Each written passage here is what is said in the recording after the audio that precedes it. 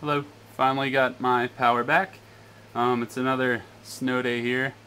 Uh, I work in schools, so um, another day off. So I figured, why not make this video? So I'm gonna talk about um, my weekly pull list. I was able to read like half the books that I picked up this week. Um, so I'll be able to let you know if they were decent. And I also got um, some eBay books in the mail um, yesterday. So I'll show those off as well. So first thing I picked up was Green Arrow number 28. Um, it's a it's another story of him on the island. Um, his his father's back.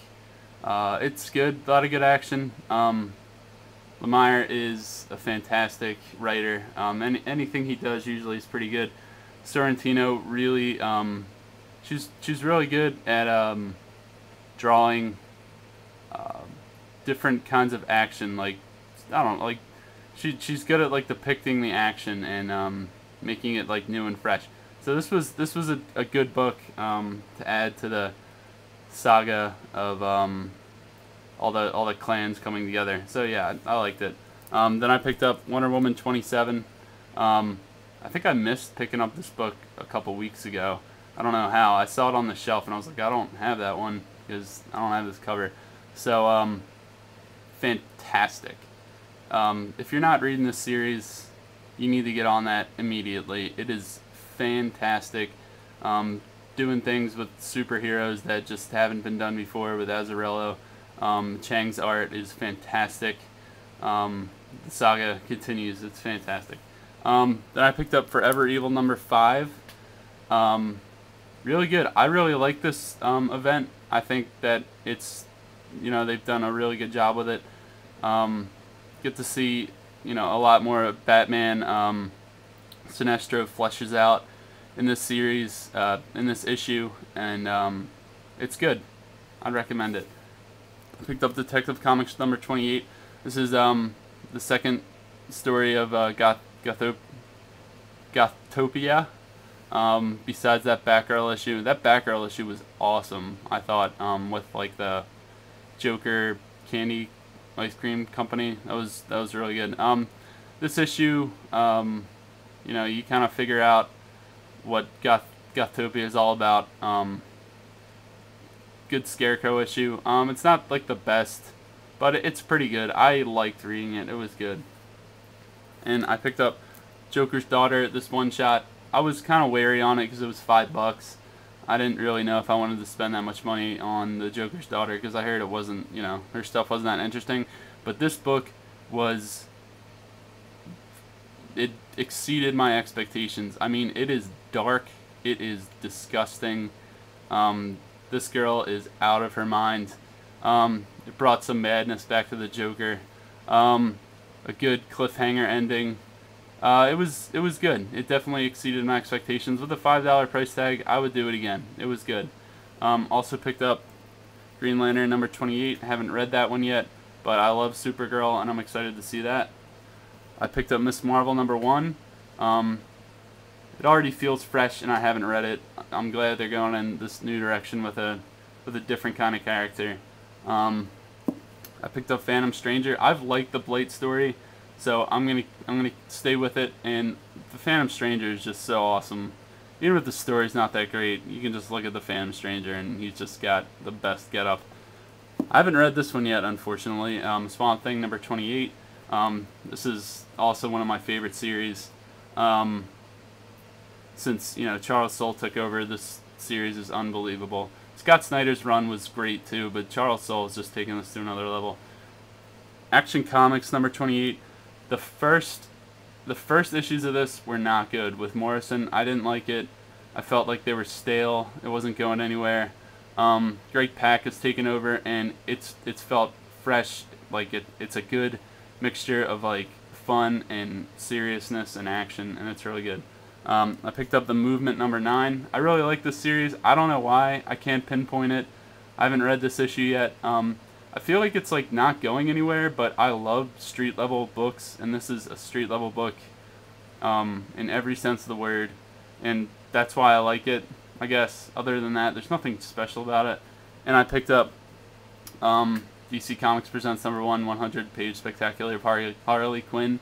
Um, Paul Dini, you know, I'll give it a shot. I heard it wasn't the best, but um, I'm happy to have this cover here just because it's awesome and they used it again. So, yep, that's what I picked up at the store. And on eBay, these just came in. I think Yanni Gogolak. I gotta start writing these down because I forget who were the people that said it. I I uh, ordered this before he talked about it, but um, still he, he he saw what I saw. Um, this is the the Legends um, mini series. Um, this first issue is the first appearance of Amanda Waller. It's definitely underrated. Amanda Waller is a huge heavy hitter, especially in the new 52 right now. Um, you, you know, like she's she's behind every little thing that goes on in the DCU, and um, this is definitely underrated. So I got these this this whole this whole six part mini series I got for five bucks on eBay with two dollars shipping. So you know it's totally gettable. These are in high grade. Um, if I if I keep seeing this book out there, I'm gonna pick it up just because I, I think that eventually it's gonna be a little more sought after because she is definitely a heavy hitter in there. So yeah, I mean, and they're you know they're cool covers too. So if you see these Legends books out there, I'd pick them up. Um, also got also got this lot from um, ugh, from this guy on eBay. Um, I got these two books for six dollars um, and a lot. It was a buy now with free shipping, which is awesome. Um, Amazing Spider-Man number 148 and very high grade. Um, Jackal story. Uh, think that's part of the, the clone story with um, uh, Ben Reilly, I think, or something. Yeah, but that's in high grade and uh, um, Amazing Spider-Man number 77. This is like a good copy, um, but I'm happy to have it. You know, like six dollars for the both of them. And what was amazing was after he gave me those, he threw in for free Tales to Astonish number 61, um, which is amazing. Um, 62 and 63 and 100. So, I mean, these are all like I love the series Tales of Astonish. I don't have any of these books yet. Um, the fact that he just threw them in, I mean, they're definite readers. They're good, maybe even like very good minus. Um, but like the fact that he threw them in for free was amazing. I mean, like, you know, these these were six bucks with free shipping, and then he decided to throw in like, you know, four early, you know, Giant Man Hulk things. Yeah, I I mean it was awesome favorite seller in the world. Thank you very much. Um, and I also picked up Incredible Hulk 138. This was um, a dollar on eBay with free shipping. Um, it's like very good plus, fine minus. Um, some discoloration up there. You can probably see it. It's not a shadow. That is brown. Um, little, little rough edges there, but other than that, it's fine. I'm trying to complete this entire series from 102 up. Um, I'm even getting over 200, so I'm happy to have this for really cheap. Oh, and that big crease right there. Oh well, it was a dollar. I'm super happy. Um, the Invincible Iron Man number 12. He said that it was like near mint minus. I totally disagree. Um, I think I paid like fifteen dollars, eighteen dollars for it. Something I can't remember, something like that. Um, but I mean, like the the crease down there and some apparent spine wear. Um, corner's not the best up there. I mean, you know, maybe very fine minus. It is a good book. It's just not as high as he said. But, I mean, I didn't pay too much for it. I'm not that worried about it. It's the first controller right there. First appearance of him. You know, it's a, it's a minor key book. It's a great cover. So, you know, I'm happy to have it. And um, also picked up a reader copy of Ghost Rider number one. Nobody bid on it. I mean, I know that it's definitely like in good condition. Um, you know, chipping there and a little little curl at the bottom.